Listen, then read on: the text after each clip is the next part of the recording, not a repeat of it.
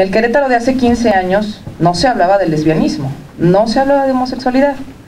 A los gays y a las lenchas se les veía feo, se les juzgaba cuando osaban dejar salir a la luz sus preferencias distintas a la norma.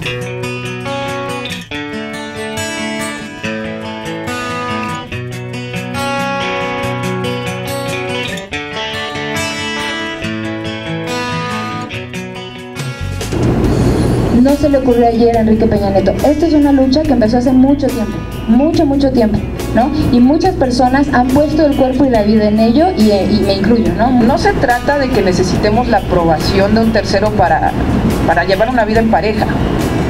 No deberíamos ni siquiera necesitar la autorización de nadie para tener los mismos derechos que cualquier otro ciudadano y ser humano. Bajo ninguna circunstancia se puede negar o restringir a nadie un derecho con, un derecho con base en su orientación sexual. Hay legisladores quienes están convencidos de que sí, claro, es un derecho, ¿no? Ya todo el mundo lo dijo, ya la Suprema Corte el año pasado nos lo volvió a decir, ¿no? Se pronunció a favor. Todo el mundo sabemos que es un derecho y que tenemos que acceder a él.